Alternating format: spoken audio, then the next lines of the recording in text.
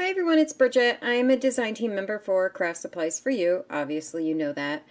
Um, I am going to show you how you can use your credit card when you make purchases on the website instead of having to use your PayPal account. Um, I know there's been some questions on how to use um, a MasterCard or a Visa on this website and I am going to walk you through how I do it.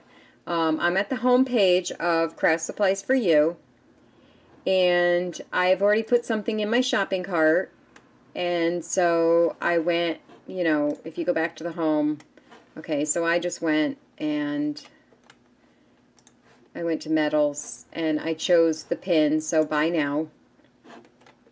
So now I have two of these pins in my shopping cart and it gives a total. So now I want to go to checkout over here and it gives me my information, my billing address. Um, the reason why I automatically come up is because I am logged into my account. Now maybe I should go back. Let me log out. Okay, so I'm logged out. I'm just a regular, you know, I'm a first time customer. Um, I don't know. It's kind of easier if you guys just create an account there. Um, for me, it's easier because then I can just hit login and it saved my username and password and I'm automatically logged in. But so I'm just going to go to metals and I think it's going to give me a, a place to um, log me in anyways. So I want to buy these and of course I selected them. I go to checkout over here and then see here's the page where it gives you where you can log in by using your username. And if I just hit the B, I'm automatically in there so I can log in.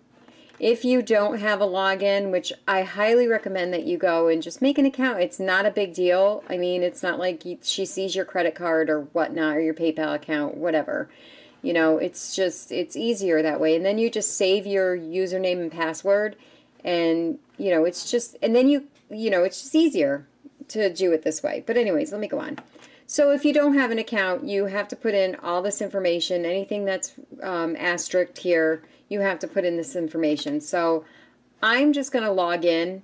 It's the same, I believe it's the same, but if you have an account, this is what you do. Okay, you log in. So I'm going to continue to check out. And once again, there's my information. Um, and of course, my payment method is you know, this I will be able to change. It says PayPal now, but continue to checkout. And then once again, we're at this page. This is step three of three in the order confirmation, if you can see my little cursor there. So here's my total. I'm going to confirm my order. So then we come to this page and everybody's like, oh no, I paid for it already with my PayPal. It has not gone through your PayPal. This is where you would log into your PayPal account and it would pay this invoice through your PayPal account. We don't want to use PayPal. So instead, underneath there, even though you may have a PayPal account, underneath it says don't have a PayPal account, click that. Here it will give you where you can pay with your debit or credit card. See, pay with debit or credit card and then you just fill out this information, you know, what card you want, you type in the card number, you, you type in the expiration date and the little three-digit code on the back of the card, and then it gives you, you know, all your information. Now you guys have my phone number, you can stalk me, just kidding. Um, so anyway, so um, then you just click pay. And then it'll process it under that credit card and not your PayPal account, and you'll get your items um, when she ships them, which is within a day. Okay, so I don't want to order the pins, but um, anyways, I wanted to just show you guys how you could use your credit card with Julie's Shop instead of using your PayPal account. And if you have any questions, just leave them below. And thanks everybody for watching.